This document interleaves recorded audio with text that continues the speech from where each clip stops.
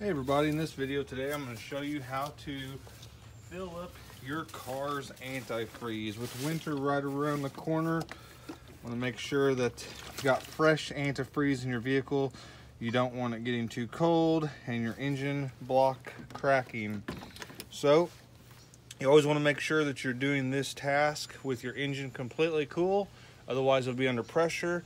And trust me, about 20 years ago, a guy that I worked with opened this cap when the car had been running previously and coolant sprayed everywhere, burned him horribly, and he did not have to have any skin grafts or anything, but he did have um, burn cream. He had to put like burn cream on his skin for weeks and weeks and weeks and weeks. So what you're going to do is twist this cap off. This is the reservoir about an inch and a half below, there's a line that says Cold Fill Max.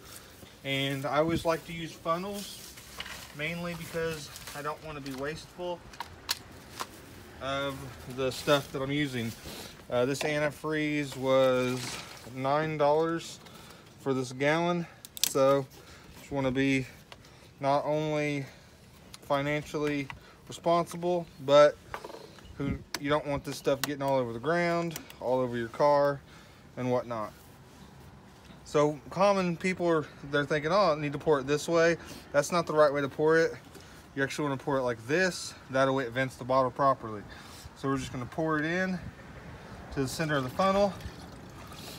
Keep an eye on your reservoir, and you should see it as it fills. And like I said, be aware of that line where it says cold fill max. Take a look here. We still have a little bit to go.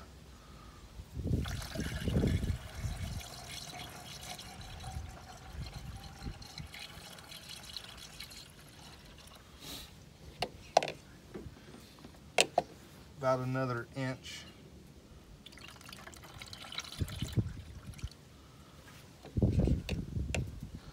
Perfect.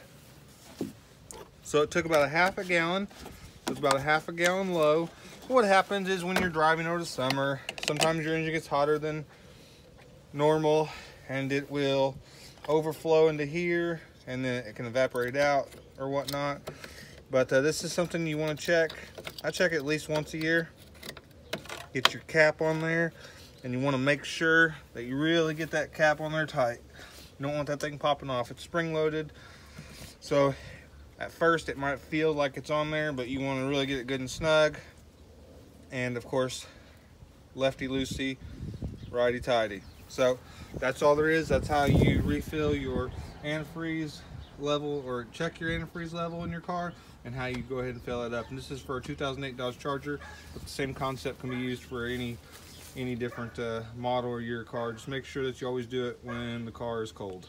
Thank you for tuning in this video.